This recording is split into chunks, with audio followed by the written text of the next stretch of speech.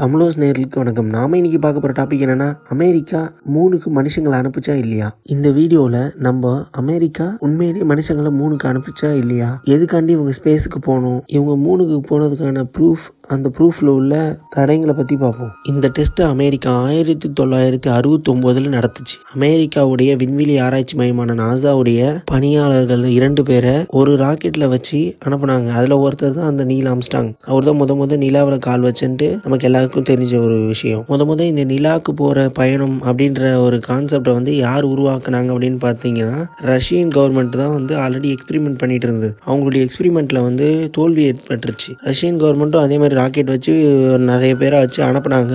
அந்த போன ராக்கெட் வந்து வெடிச்சிட்டனால அந்த எக்ஸ்பிரிமெண்ட்டை கைவிட்டுட்டாங்க. அதுக்கப்புறம் தான் அமெரிக்கா இந்த முயற்சியில் ஈடுபட்டுச்சு. நாங்கள் தான் ரஷ்யாவோட பெரிய நாடு அப்படின்றத காட்டுறதுக்காண்டி மூணுக்கு ஆளுங்க அனுப்புனாங்க. இவங்க அனுப்புனாங்க அப்படின்றதுக்கு ப்ரூஃப்னு பார்த்தீங்கன்னா நிலா நிலாவில் இவங்க ஆராய்ச்சி பண்ணும்போது எடுத்த படங்கள் வீடியோக்கள் இந்த மாதிரி விஷயங்களை வச்சு இவங்க நாங்கள் போயிட்டு வந்துட்டோம் அப்படின்னு சொல்கிறாங்க அதே மாதிரி இன்னும் ஆராய்ச்சியாளர்கள் நிலவில் வச்சுட்டு வந்த ஒரு சிக்னல் பேனல்லேருந்து இன்னும் ஒரு சிக்னல் வந்துக்கிட்டு தான் இருக்குது இதை நிறைய பேர் ஸ்டடீஸ்க்காண்டி யூஸ் பண்ணிக்கிட்டு இருக்காங்க அப்படின்னு சொல்கிறாங்க அடுத்தது இந்தியாவிலேருந்து அனுப்பின சந்திராயன்ற ராக்கெட் வந்து மூணுக்கு போகிறதுக்காண்டி போகும்போது அங்கே ஒரு சிக்னல் பேனல் வேணும்ல எங்கே இறங்கணும் அப்படின்றதுக்கு அந்த மாதிரி இறங்குறதுக்கு இவங்களுடைய அந்த சிக்னல் பேனலை யூஸ் பண்ணிக்கிட்டாங்கன்னு சொல்கிறாங்க அதே மாதிரி சைனாவும் அதுவும் சொல்லுது அங்கே ஒரு சிக்னல் இருக்குது அதை ட்ராக் பண்ணி தான் நாங்கள் இறங்கணும் அப்படின்னு சொல்கிறாங்க இவங்க சைனாவுக்கு எடுத்த எக்ஸ்பிரிமெண்ட் ஃபோட்டோஸில் வந்து இவங்க எடுத்த ஃபோட்டோஸோட ஒத்து போய் தான் இருக்குது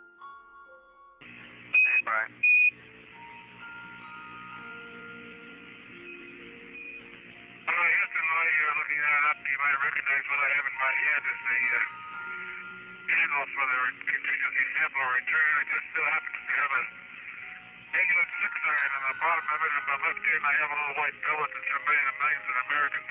இவங்க அங்கே நிலாவுக்கு போகல அப்படின்றதுக்கான ப்ரூஃப் தான் எக்கச்சக்கமாக இருக்குது அதில் நம்ம ஒன்று ஒன்றா பார்ப்போம். வேலன் ரேடியேஷன் பெல்ட் இந்த பெல்ட் வந்து உலகத்தை சுற்றி ஒரு காந்த புலனை ஏற்படுத்தி வச்சிருக்கு. ஸோ சூரியன்லேருந்து வர கதிரை இந்த வேன் ஆலன் ரேடியேஷன் பெல்ட் வந்து தடுத்து பூமிக்கு வராமல் பாதுகாக்குது. ஸோ இவங்க நிலாவுக்கு போகணும்னா இந்த ரேடியேஷன் பெல்ட்டை கடந்து தான் போகணும். இந்த ரேடியேஷன் வந்து ரொம்ப அடர்த்தியான ஒரு ரேடியேஷன் ஸோ இது மூலமாக யாராலும் மனுஷங்க போக முடியாது. போனாங்கன்னா செத்து தான் போவாங்க. ஸோ இவங்களால எப்படி மனுஷங்களை அங்கே அனுப்ப முடிஞ்சுது? அப்படின்னு நிறைய பேர் கேள்வி கேட்குறாங்க இதுக்கு அமெரிக்கா சைட்லேருந்து வர பதில் என்னன்னா இதுடைய அடர்த்தின்னு பார்த்தீங்கன்னா அதிகம் தான் ஆனால் அந்த இடத்துல நம்ம போகும்போது நம்ம குறைஞ்சபட்சம் ஒரு நாலு மணி நேரத்தில் நாங்கள் கடந்துட்டோம். அதிகப்படியாக அந்த இடத்துலயே இருந்துட்டு இருந்தா தான் இந்த பிரச்சனை வரும். அப்படின்னு அவங்களுடைய ஆராய்ச்சியாளர்கள் சொல்கிறாங்க அவங்க எடுத்த அந்த ஃபோட்டோஸ் அந்த வீடியோஸை பார்த்தீங்கன்னா பின்னாடி எந்த ஒரு நட்சத்திரமுமே தெரியாது. இது எப்படி சாத்தியம்? ஸோ அதை நம்ம தெரியணும்ல நட்சத்திரம்னா ஏன்னா பூமியிலேருந்து பார்த்தா நட்சத்திரம் தெரியுது. நிலவுலேருந்து பார்த்தா தெரியாதா? அப்படின்ற மாதிரி நிறைய பேர் கேள்வி கேட்குறாங்க அதுக்கு அமெரிக்கா சைட்லேருந்து சொல்கிற பதில் என்னன்னா இது வந்து சூரிய ஒளியில் எடுக்கப்பட்ட ஃபோட்டோ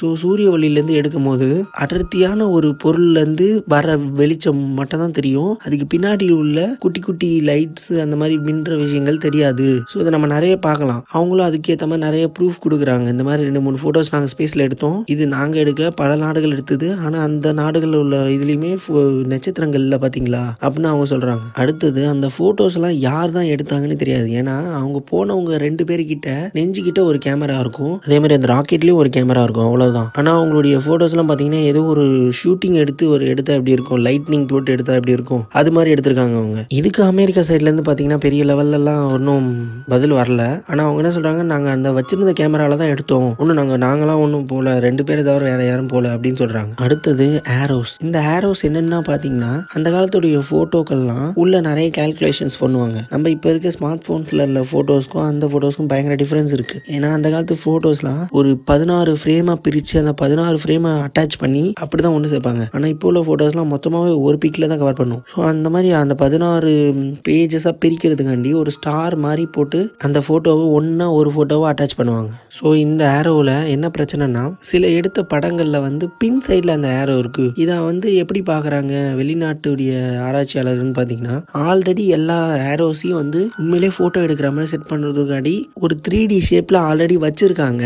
ஸோ அதாவது அந்தந்த ஃபோட்டோவுக்கு பின்னாடி இப்போ எக்ஸாம்பிள் வந்து ஒரு ஆப்ஜெக்ட் இருக்குன்னா அந்த ஆப்ஜெக்ட்டுக்கு பின்னாடி அந்த வந்து அந்த ஏரோ இருக்குது பாதி ஏரோ மறைஞ்சு பாதி ஏரோ தெரியுது. இது எப்படி சாத்தியம்? கேமராலேருந்து வந்தால் இப்படி இருக்காதுல்ல? அப்படின்னு நிறைய பேர் சொல்கிறாங்க இதுக்கு அமெரிக்கா சொல்கிறது என்னென்னா அதிகப்படியான கலர் லைட்டிங் இல்லாத காரணம் தான். ஏன்னா மூணுக்கு அனுப்பின அந்த கேமரா வந்து அந்த அளவுக்கு குவாலிட்டியான கேமரா இல்லை. அதே மாதிரி அந்த கேமரா வந்து ஹை ரெசல்யூஷனில் பார்த்தா மட்டும்தான் அந்த ஆப்ஜெக்ட்டுக்கு மேலே உள்ள அந்த பொருள் தெரியும் அப்படின்னு சொல்கிறாங்க அடுத்தது லேக் ஆஃப் இம்பேக்ட்ஸ் அப்படின்னா என்னன்னு பார்த்தீங்கன்னா அந்த ராக்கெட்லேருந்து தனியாக கழண்டு வந்த அந்த உள்ளே இருக்க அந்த ஒரு வண்டி மாதிரி ஒரு விஷயம் அந்த ஸ்பேஸ்க்கு இறங்கும் போது பயங்கர பவரோட தான் இறங்கும். ஸோ இப்படி இறங்கும்போது அந்த கீழே இருக்க அந்த மண்ணோ இல்லை தூசியோ ஏதோ ஒன்று அது வேக வேகமாக வந்து பறந்து அந்த இடத்துல ஒரு குழி விழும். அந்த இம்பாக்டில் வந்து ஒரு குழி விழும். அந்த குழி அந்த ஃபோட்டோவில் இருக்காது. வெறும் நல்ல நார்மலாக ஏதோ வண்டியை நிப்பாட்டின மாதிரி இருக்கும். ஸோ இதை பற்றி எங்கே அந்த இம்பாக்ட் ஏன் இல்லை அப்படின்னு கேட்டாங்க. அதுக்கு அமெரிக்கா சைட்லேருந்து என்ன சொல்கிறாங்கன்னா இந்த மாதிரி அது வந்து ரொம்ப புவி ஈர்ப்பு கம்மியாக உள்ள ஏரியா ஸோ நாங்கள் இறங்கும் போதே ரொம்ப ஸ்லோவாக தான் இறங்கணும். அந்த இம்பாக்ட் வந்திருக்க வாய்ப்பு இல்லை அப்படின்னு சொல்கிறாங்க அடுத்தது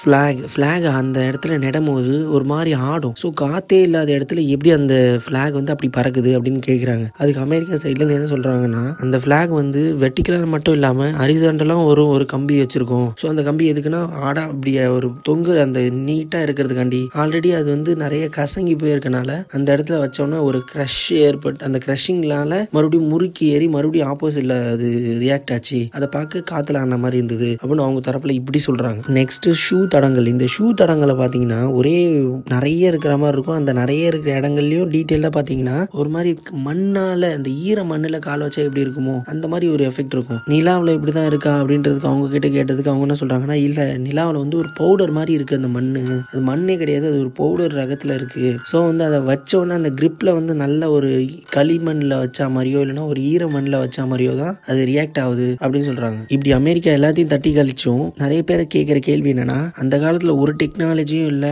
அப்பயே நீங்கள் வந்து அவ்வளோ வாட்டி நிலவுக்கு போயிட்டு வந்துட்டீங்க. ஸோ இப்போ இவ்வளோ டெக்னாலஜி வளர்ந்துருச்சு இவ்வளோ எல்லாம் பண்ணியாச்சு. ஸோ இப்போ ஒரு நிலவுக்கு ஒரு ராக்கெட் அனுப்புனா என்ன பிரச்சனை? செவ்வாய் கிரகத்தில் போய் ஆராய்ச்சி செய்கிற நம்ம ஏன் வந்து இதுக்கு அனுப்பக்கூடாது அப்படின்னு கேட்குறாங்க இது என்னவோ நியாயமான கேள்வி தான் ஏன்னா அப்போ ஒன்றுமே இல்லை. அந்த பழைய கேமரா வச்சுட்டு கிளம்புனவங்க இப்போ இருக்க கேமரா டெக்னாலஜி வச்சுட்டு கிளம்புனா எங்கே போய் மாட்டிப்போமோ நம்ம அப்படின்றதுக்காண்டி யோசிக்கிறாங்களே என்னவோன்னு தெரில அவங்க அதை மறுக்கிறாங்க. அதுக்கு சில காரணங்கள் சொல்கிறாங்க ஆல்ரெடி நாங்கள் அங்கே போனவங்க அங்கே ஒரு ஸ்பேஸ் ஸ்டேஷன் வச்சு தான் இருக்கோம். அந்த ஸ்பேஸ் ஸ்டேஷனுக்கு பேர் கூட லாங்கன் இந்த ஸ்பேஸ் ஸ்டேஷனுக்கு லைக்கான்ற ஒரு நாயை கூட நாங்கள் அனுப்பணும் அப்படின்னு சொல்கிறாங்க அவங்க சைடில் சில பேர் ரொம்ப சில பேர் இது ஏன் போகல நாங்கள் அடுத்தது அப்படின்றதுக்கு ஏலியன்ஸை ஒரு முன்னிறுத்துறாங்க அங்கே ஏலியன்ஸுடைய நடமாட்டம் இருக்குது ஸோ மனுஷங்க போனால் ஆபத்து அப்படின்னு சொல்கிறாங்க ஆனால் இதெல்லாம் வந்து அவங்களால அவங்க வந்து தட்டி கழிக்கிற மாதிரி தான் இருக்கிற விஷயமா தான் எனக்கு பார்க்குறேன் நீங்கள் என்ன பார்க்குறீங்கன்றத கமெண்ட்டில் லீவ் பண்ணுங்கள் நன்றி வணக்கம்.